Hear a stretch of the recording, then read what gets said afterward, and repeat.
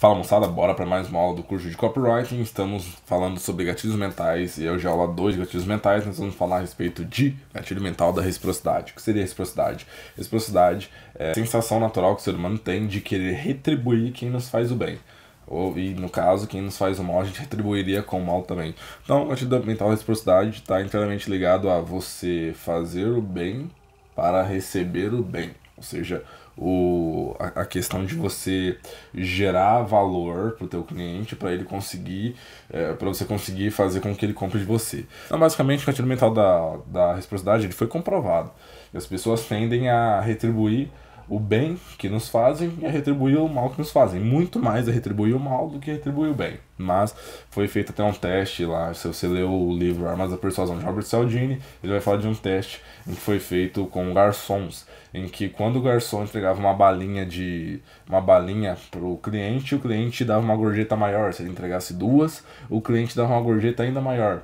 E se ele entregasse duas, e saísse e depois falasse assim, não, peraí, gostei de vocês, e desse mais uma balinha, ou seja, três balinhas, ele recebia uma gorjeta ainda maior. E essa última não necessariamente seria pela quantidade, mas seria pela personalização. Calma, ficou confuso, mas agora tudo vai ficar mais claro na sua cabeça. Então, primeiramente, você tem que entender o seguinte: o que eu penso ser recíproco pode não ser recíproco para você. Então aqui a gente já entra na primeira complexidade do gatilho mental de autoridade eu trouxe aqui uma analogia. Então vamos colocar em exemplo aqui um relacionamento onde tem o rapaz e a moça. É, vamos supor que esse namoro, nesse namoro, os dois moram em cidade diferente. O rapaz, ele sempre vai até a cidade da moça ver ela e ela nunca vai na cidade dele. Então, você entende que ele sempre tem que se deslocar da cidade dele para a cidade dela. Só que ela não deixa ele na mão. Sempre que ele recebe, sempre que ele vai lá, ela recebe ele muito bem. Legal? Então, basicamente, nisso aí a gente pensa o quê? É, que um tá fazendo coisa pelo outro. Ele vai até a cidade dela e ela se, se preocupa em receber muito bem. Então, um faz coisa pelo outro. Até aí seria recíproco, certo? Como anotei aqui, ó. Então, percebemos que um faz coisa e o outro faz outra. Um faz uma coisa, o outro faz outra. Isso seria recíproco, legal? Hum, quando a gente coloca na prática, não. Porque qual ação tem mais peso? A dele de sair da cidade ou a dela de se preocupar carinhosamente em recebê-lo? Depende, isso é subjetivo. Cada um sabe o que sente com o esforço que está fazendo, e nenhum consegue compreender na íntegra o que o outro sente de verdade fazendo aquele esforço. Às vezes, sair da própria cidade pode ser muito exaustivo, ainda mais se for de ônibus depois de um dia de serviço, porque sabemos o quanto é catastrófico transporte público no Brasil. Ou seja, se o cara está indo de ônibus e é depois de sair do serviço, provavelmente o cara está muito cansado. E se ele saiu do serviço, ele vai ter que pegar o ônibus de volta, e isso vai cansar ele ainda mais. Ele vai chegar numa tarde em casa, às vezes não vai poder fazer mais nada, e, e vai ter se cansado muito. Então, isso pode ser um peso gigante para ele. Pode ser que aí ele está fazendo mais e ela menos. Então, não é recíproco para ele, embora seja para ela, na cabeça dela. Por quê? Porque às vezes também a namorada não comenta do que aconteceu de ruim no dia dela e não desconta nenhuma frustração no namorado para recebê-lo. Simplesmente valoriza o fato de ele estar ali naquela hora. Às vezes ela não descontar as frustrações para ela também é um peso muito grande para ela. E às vezes ele não está sendo recíproco para ela. Às vezes ela está fazendo muito mais para ele do que na cabeça dela ele está fazendo para ela. E às vezes pode ser que na cabeça dele ele está fazendo muito mais para ela do que ela para ele. Então é subjetivo isso. O que eu quero dizer, na verdade, é que a ajuda que você entende estar dando pode não ser a ajuda que a pessoa percebe quando recebe. A sua ajuda pode ter significado mais para ela ou menos para ela. Isso depende da percepção dela no momento em que foi ajudada. What? Você só leu aí, mas não entendi nada. É isso que eu te falei. Às vezes, por isso que o gatilho mental da reciprocidade ele é muito complexo. Às vezes você está produzindo conteúdo gratuito, às vezes você está entregando uma isca digital boa, às vezes você está tá ajudando o teu lead de uma forma que você, putz, cara, você tá se matando para produzir aquele conteúdo, para ajudar o lead daquela forma, você tá, você tá fazendo call com ele, conversando com ele. Às vezes pra ele não é nada. Às vezes ele encontrou esse vídeo no YouTube e leu, vazou. Porque se reciprocidade funcionasse de verdade, a quantidade de views seria proporcional à quantidade de likes. Mas a gente vê que em vídeo nenhum é. Por quê? Porque as pessoas não estão nem aí. As pessoas estão aí se você resolve o problema dela. Resolveu? Então assiste o bagulho e vaza. Não deixa like, não deixa nada. Por mais que você peça no call to action. Clica aí, clica, é, se inscreve no canal e curte o vídeo pelo menos. Não, não acontece isso. A pessoa quer vir, resolver o problema dela e vazar. Então, por isso, eu, Daniel, acredito que as pessoas vão comprar. Lógico, se, se isso beneficiar ela. Não importa se você ajudou ela ou não. Se a, ela só vai comprar se você provar que você, você consegue transformar a vida dela. E é por isso que o conteúdo gratuito vem. Ele é uma amostra grátis. Aí você dá uma amostra grátis para ela, ela vê que você é capaz de ajudar ela, ela compra de você. Não por causa de conteúdo gratuito. Porque se entrar conteúdo gratuito, as pessoas sequer dão like. Imagina tirar o dinheiro do bolso.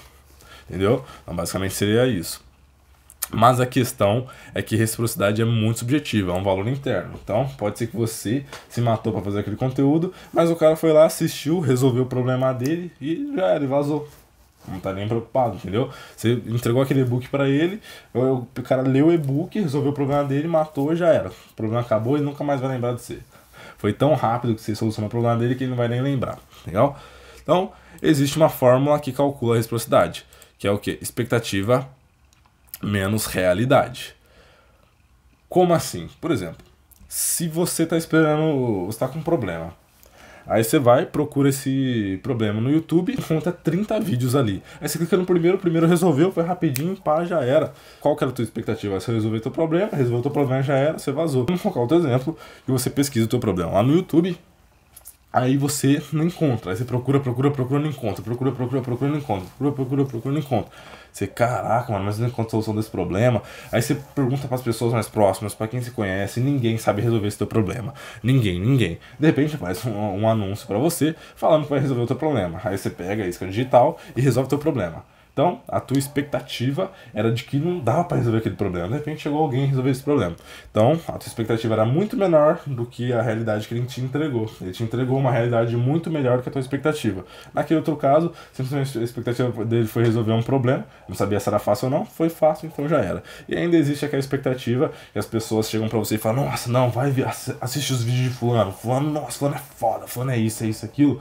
Aí a pessoa vai assistir, já chega com a expectativa, cacete, mas fulano será que é? Mas fulano pode resolver? Ela já acha que você tem a pílula mágica, a fórmula mágica para fazer, para realizar o sonho dela. Aí quando ela assiste, ela fala, ah, até que não era isso. Ou seja, ela veio com uma expectativa muito além daquilo que você é. Entendeu? Ela se frustrou aí. Então, basicamente, você tem que calcular isso: expectativa e realidade, beleza?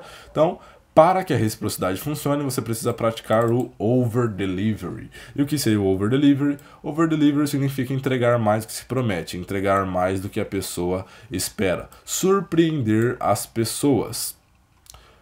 Onde a realidade vai superar as expectativas. Então, basicamente, over-delivery é isso. É você prometer uma coisa e entregar muito mais do que você prometeu. Por quê? Porque necessariamente over-delivery é você surpreender a pessoa. É você entregar mais do que prometeu. Só que é entregar mais do que ela espera receber. Entendeu? Seria você prometer para ela que você vai uh, ensinar a subir uma campanha no Facebook, de repente você entrega até copywriting para ela. Sacou? Não, mas seria basicamente isso. Você promete uma coisa, aí ela vai e vai pela tua promessa, e quando ela, ela recebe a tua promessa, ela fala, cacete, mas que que é isso? Ele prometeu só uma coisinha, de repente tá me dando um monte de coisa, legal, nossa, você é louco. Ele me ensinou a fazer isso, isso e aquilo. Eu prometi, uh, o, ele prometeu que se eu comprasse o produto dele, eu ia emagrecer. Além de emagrecer, eu já fiquei shapeado, tô bombado. Pô, top, mano. Legal. Over-deliver deve ser praticado constantemente, porque quando você parar de entregar mais do que as pessoas esperam, você fica manchado. Porque a partir do momento que você é conhecido pelo over delivery, as pessoas vão comprar de você e esperar algo a mais. E se esse algo a mais for alguma coisa que ela já está esperando, sinto muito, mas você não surpreendeu ninguém. Over delivery é uma faca de dois gumes. Como assim? Por exemplo, vamos supor que você começou a praticar over delivery. Tu promete, tu não promete muito. Só promete falar para ela, ó, oh, você vai resolver o teu problema com o meu produto a pessoa vai lá e fala, ah, quer saber, vamos comprar, vai. Ela compra, de repente, é muito mais do que ela esperou. ela vai falar pro amigo, o amigo começa a divulgar, a galera começa a divulgar, divulgar. Aí você começa a praticar over delivery com todo mundo. De repente, as pessoas começam a te ver como um cara do over delivery. Aí você vai e vende outro produto. Aí você entrega mais over delivery ainda. Aí as pessoas falam assim, cara, mano, eu, eu compro com esse cara, por quê? Aí sim eu falo, agora sim tá comprando por reciprocidade, agora sim tá comprando por, por reciprocidade, porque você praticou over delivery. Aí a pessoa vai lá e fala assim, mano, eu compro com ele, por quê? Eu compro com ele já sei que ele vai me, me surpreender muito mais, mas muito mais. Então as pessoas já vão comprar de você, não esperando o que você prometeu no, no título mais. O seu título lá, a tua promessa do teu anúncio, a promessa do teu produto é uma, e as pessoas já vão comprar na cabeça de que elas vão receber algo a mais e que, e que esse algo a mais vai surpreender elas. Vamos supor que você, você tá praticando over delivery, mas esse algo a mais não surpreende elas. Elas vão ficar frustradas. Por mais que o teu produto resolveu o problema delas. Então aí você tá retroagindo, você tá regredindo. As pessoas que te amavam agora estão falando, nossa, não é. Não foi tudo isso. Por mais que você solucionou o problema. Ou seja, elas se acostumaram com a ideia de que você sempre vai entregar mais do que promete. Basicamente, quando isso acontece, as pessoas vão, vão automaticamente esperar mais de você. Vai sempre esperar que você surpreenda elas. E quando você não surpreender, elas vão começar a se frustrar com você. Então você vai ter que sempre estar tá praticando o over-deliver. Senão as pessoas. Imagina, eu, eu te dei o exemplo você praticando. Imagina você vende, aí você tá conhecido como um cara que pratica over-deliver, aí você faz o produto e nem over-deliver você entrega. Simplesmente as pessoas, a pessoa vai falar assim, acho que eu vou comprar dele, né, mano? Ele entrega sempre, ele sempre surpreende, sempre tem algo a mais nele. Vai lá, compra com você e nem isso você entrega. Você só soluciona o problema dela. Ela tava esperando de você algo a mais e você não entregou. Então aí você começa a desapontar essa pessoa. Então, o over delivery, se você for praticar, a, a, entenda utilizar o over delivery. Então, sempre tem que ter em mente o que? Você vai criar um produto novo, vai fazer uma oferta nova, já tente surpreender de forma majestosa isso. Mais majestosa aquelas pessoas. Legal? Porque senão você vai acabar se prejudicando. E o que reforça o over delivery é a personalização. Quando as pessoas sentem que algo foi feito exclusivamente para ela ou pensada nela, pode ativar o gatilho mental da reciprocidade e aumenta muito. Muito, muito, muito. Aquele exemplo do garçom, eu falei pra você no começo desse vídeo, que o que mais deu resultado foi quando ele deixou duas balinhas com os clientes. Aí ele saiu, depois ele pensou, não, quer saber? Ó, toma mais uma, vocês são muito legais comigo.